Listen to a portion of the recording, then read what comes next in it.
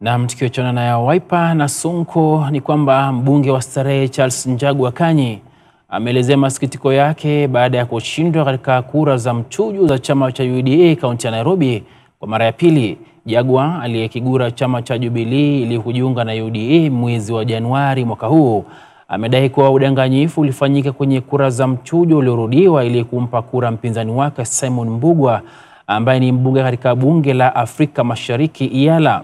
Mbugua aliyewania na kufeli mwaka 2017 alichapisha picha mtandaoni akipokea cheti cha uteuzi kutoka kwa mwenyekiti wa bodi ya uchaguzi ya UDA Anthony Mwaura.